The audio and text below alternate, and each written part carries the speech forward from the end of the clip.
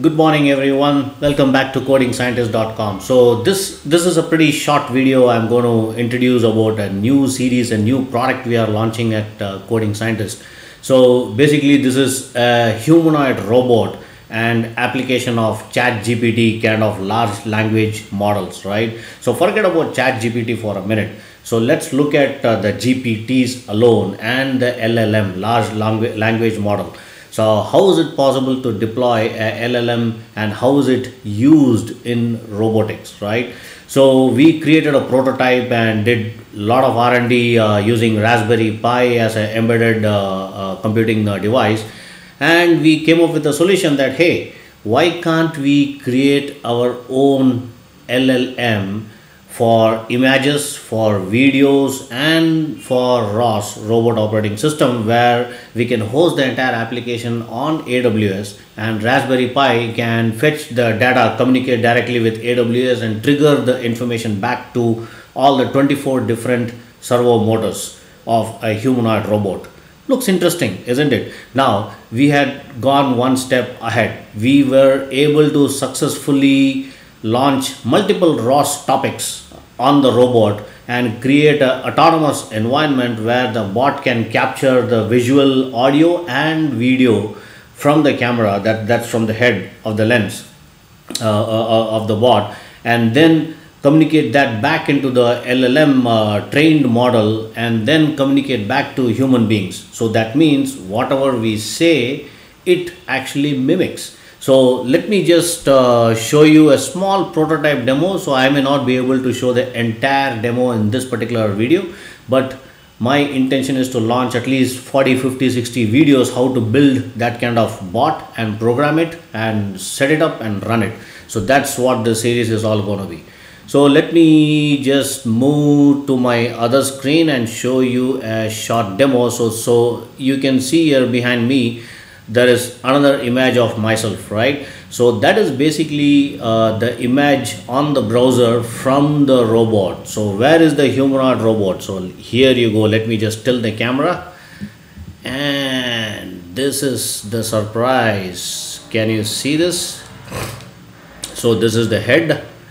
And this is the entire uh, body uh, two arms and the legs the entire structure of the humanoid bot which is just right across sitting around my uh, laptop.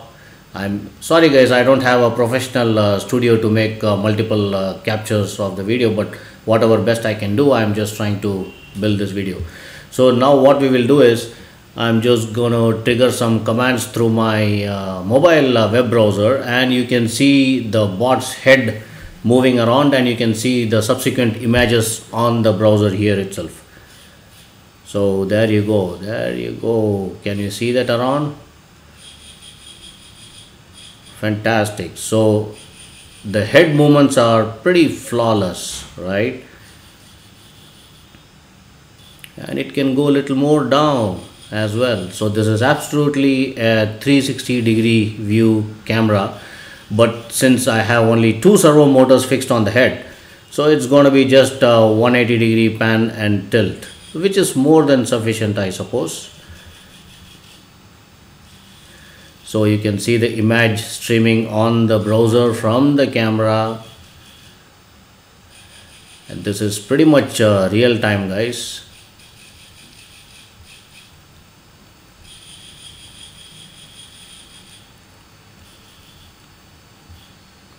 Alright, so this is pretty interesting. Now let me just try to give some command for the arm uh, let me just say wave. Wow. Hello bot. So I can initiate a customized uh, you know commands as well through the browser and look at it.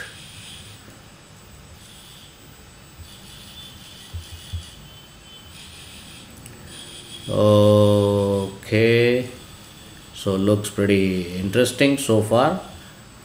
All right so now what we will do guys so this is this is just a glimpse of uh, you know a pretty uh, short uh, video to introduce about the new series which is coming up and the new product we are launching. So guys you know I, I will i will go ahead and i will post a list of uh, list of components required to procure to build this particular uh, bot. So it, it's basically you know ax12 uh, uh, you know uh, digital servo motors or htc servo motors whichever combination you want to use you can use it. And also you will need a raspberry pi and a raspberry pi hat the expansion board. Uh, i can provide all those components if you want uh, but the programming aspect and building the AL, uh, the LLM is the main magic of this particular series. So you need to have basic knowledge on Python and you know artificial neural network and several libraries. You need to have fair amount of knowledge on the AWS how to host that application and then connect your Raspberry Pi through the local Wi-Fi and connect it to the internet so that it can fetch the data from AWS and then back to so let me just show you uh, the actual build of this particular bot so as you can see you know these are the arms and then this is the head and so this is the raspberry pi uh, which i mounted at the back side so you can see there are you know the camera is directly connected to uh, uh one of the usb ports and uh, you have multiple other uh, micro usb options so it's, it's pretty interesting guys. So you know it's it's going to be a magical world seeing llm gpts and llms communicating to back to the hardware world that is the embedded devices. So it's going to open up a lot of opportunity for for uh, you know researchers for phd professionals for folks who are doing uh, doctorate phds and also for engineering students to do a lot of research on uh, using this particular robot and the LLM model which we built. You can expand your research in building multiple applications on robotics.